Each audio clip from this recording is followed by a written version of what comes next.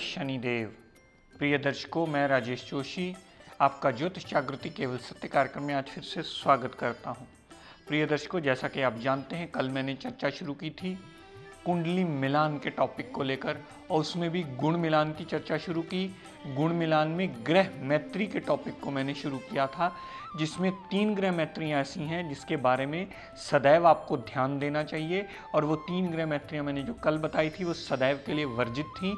सूर्य और शनिदेव की अगर ग्रह मैत्री हो तो कुंडली सदैव वर्जित मानी जाती है। ऐसी कुंडलियों को नहीं मिलाना चाहिए। सूर्य और शुक्र की ग्रह मैत्री अगर मिलाई जाए तो वो भी वर्जित मानी जाती है। शनिदेव और चंद्रमा देवता की ग्रह मैत्री को भी कभी अप्रूवल नहीं दिया जाता, चाहे गुण कितने मर्ज़ी मिलते हों। आज प्रिय दर्शकों, अपनी इसी श्रृंखला को आगे कंटिन्यू करता हुआ बात करता हूँ, चौथी ग्रह मैत्री की। चौथी ग्रह मैत्री जो होती है वो मेन सबसे इंपॉर्टेंट शनिदेव और मंगल देव की मानी जाती है। शनि देवता और मंगल देवता की ऐसी ग्रह मैत्री है जो आपस में इतनी क्रूरता का तत्व लेकर के बैठे हैं। शनिदेव दानवों में क्रूरता का तत्व लेकर के बैठे हैं और मंगल देवता देवताओं में क्रूरता का तत्व ले लेते हैं। अगर इन दोनों की ग्रह मैत्री भी आपस में आ जाए तो जातक के दाम्पत्य सुख में महाभारत होने का योग बन जाता है। क्योंकि दोनों में बर्दाश्त करने वाला कोई नहीं होता, दोनों ही राशियाँ क्रूरता में आ जाती हैं। ऐसी ग्रह मैत्री को कभी भी अप्रूवल नहीं देना चाहिए। पांचवी ग्रह मैत्री प्रिय को नोट कीजिए। मंगल देवता और बुद्ध देवता की ग्रह मैत्री, ये भी दोनों आपस में बिटर एनिमीज यानी अति शत्रु माने जाते हैं। अगर कुंडली मिलान समय और गुण मिलान के चैप्टर में आप जाएँगे, अगर ये ग्रह मैत्री मिलती है मंगल देवता और बुद्ध देवता की तो भी आपका दाम्पत्य सुख कभी हो ही नहीं पाएगा। सदैव आपकी सोच का दायरा दिक्कत परेशानियाँ देता ही मिलेगा। लास्ट ग्रह मैत्री प्रिय दर्शकों नोट कीजिए। चंद्रमा देवता और बुद्ध देवता की ग्रह मैत्री, ये भी कभी अप्रूवल में नहीं आती। चंद्रमा और बुद्ध आपस में बिटर एनिमीज माने जाते हैं, कट्टर शत्रु माने जाते हैं। इनकी ग्रह मैत्री भी सदैव कलह कलेश ही मचवाती है। तो ये छह ग्रह मैत्रियाँ प्रिय दर्शकों ऐसी हैं जो सदैव दिक्कत परेशानी का कारण बनती हैं। फिर आप गुण मिलान के बाद भी ये रोते मिलते हैं कि हमने तो जी गुण मिलाए थे, हमने तो बाद में नाम भी बदल लिया था। जिसकी वजह से राशि बदल गई। ये इस विद्या में आता ही नहीं। इसे समझने की भूल कभी मत कीजिएगा। अगर कोई कह रहा है तो समझ लीजिए, अभी विद्या पढ़ने में ही बहुत बड़ी कमी है उसके। नाम बदलने से राशि कभी नहीं बदली जाती। हमारे पास भी जब लोग चल के आते हैं, कुंडली मिलान कईयों से करवा भी लिया होता है जब हमारे पास मिलान के लिए आते हैं। सर, वो फलाने लोग कह रहे थे कि इसका नाम बदल दीजिएगा। तो हम भी उसके आगे से बोल देते हैं, जी, इसका नाम तो ऐश्वर्या राय रख दो, फिर ये हीरोइन बन जाएगी कल को। नाम का राशि के साथ कोई लेना देना ही नहीं है। मैंने कल भी आपको एग्ज़ाम्पल दी थी राम चंद्र जी और रावण एक ही राशि के थे, कृष्ण जी और कंस भी एक ही राशि के थे। अगर नाम राशि से इंसान के कर्मों को डिसाइड किया जाता तो कभी किसी को तकलीफ़ नहीं होनी थी। सारे अपना अच्छी राशि से नाम रख लेते या प्रभु के नाम से नाम रख लेते तो जीवन यापन सारा आसान हो पाता। हमारा जीवन हमारी नाम राशि से नहीं चलता है। हमारा जीवन हमारी जन्म लगन कुंडली से चलता है। उसमें पड़े हुए हमारी ग्रहों की स्थिति क्या है? उससे चलता है। जब हम ये डिसाइड करना भूल जाते हैं, जब इस पर ध्यान नहीं देते, तब हमारी सबसे बड़ी भूल होती है, वहाँ हमारी सबसे बड़ी गलती होती है। हमने गुण तो मिला लिए, लेकिन क्या ये देखा, या जिस विद्वान के पास आप गुण मिलान के लिए गए हैं, आप उससे बैठकर पूछिए जी, इनकी राशि आपस में मित्र है, कहीं अति शत्रु तो नहीं है? अगर अति शत्रु है और जो मैंने छह राशियाँ बताई, मैं दोबारा बताता हूँ, कृपया नोट कर लिए, जिनका भी कल किसी कारणवश रह गया हो एपिसोड वरना वो जाकर यूट्यूब पर देख सकते हैं, नहीं तो आज भी नोट करना चाहे, कर सकते हैं। सूर्य और शनि की ग्रह मैत्री को कभी ओके मत कीजिएगा, ये सदैव कष्ट देती मिलेगी। सूर्य और शुक्र की ग्रह मैत्री को कभी ओके मत कीजिएगा सदैव कष्ट देती मिलेगी। शनिदेव और चंद्रमा देवता की ग्रह मैत्री भी सदैव कष्टकारी होगी। शनिदेव और मंगल देवता की ग्रह मैत्री भी सदैव कष्टकारी होगी। मंगल और बुद्ध ये भी बिटर एनिमीज हैं एक दूसरे के कट्टर शत्रु हैं, इनकी ग्रह मैत्री भी सदैव कष्टकारी होगी।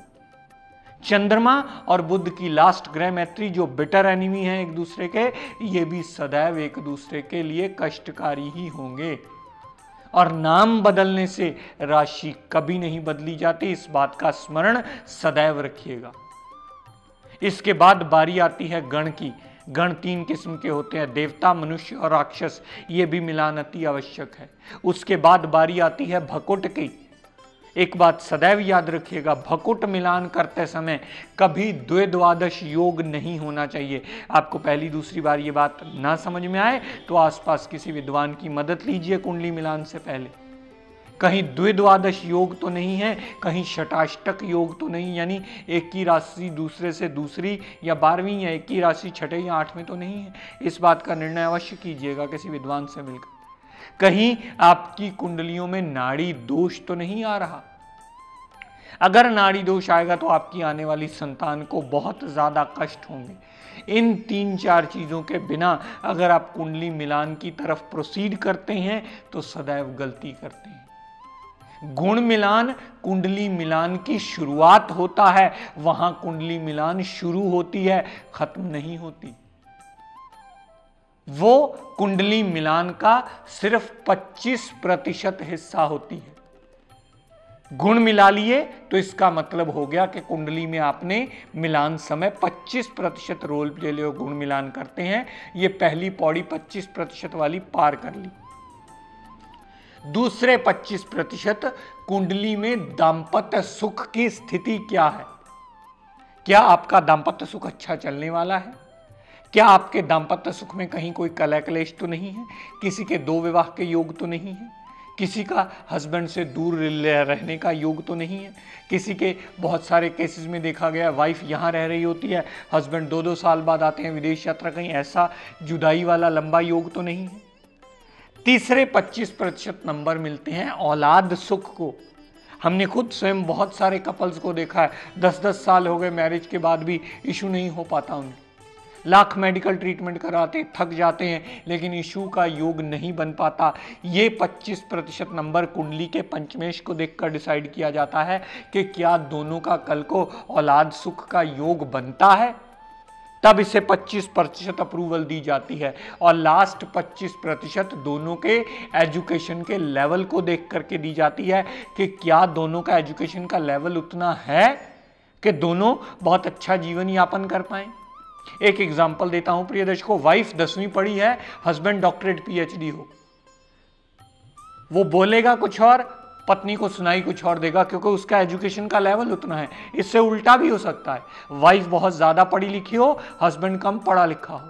तो आपस में कभी सही ढंग से अंडरस्टैंडिंग और कम्युनिकेशन हो ही नहीं पाती।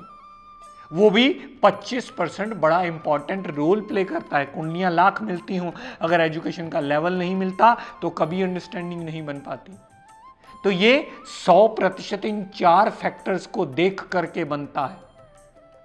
और हम लोग सिर्फ़ इस 25 प्रतिशत गुण मिलान को ही कुंडली मिलान समझ बैठते हैं। यहाँ हमारी सबसे बड़ी भूल होती है। गुण मिलान से कुंडली मिलान शुरू होता है। उसके बाद दाम्पत्य सुख का देखना, उसके बाद औलाद सुख का देखना, उसके बाद आप दोनों की एजुकेशन का लेवल देखना। वैसे भी आजकल लोग बहुत ज़्यादा अवेयर हो गए हैं, जितने भी एजुकेटेड पीपल हैं, वो सारे एजुकेशन के हिसाब से एजुकेशन का लेवल ज़रूर देख लेते हैं। लेकिन ये दो चीज़ें जो किसी विद्वान ने आपको बतानी है, दाम्पत्य सुख और औलाद सुख, ये देखना अक्सर हम भूल जाते हैं। और यहाँ हमारे विवेचन की सबसे बड़ी गलती होती है, जिसकी वजह से लोगों का कुंडली मिलान पर से विश्वास ही उठ जाता।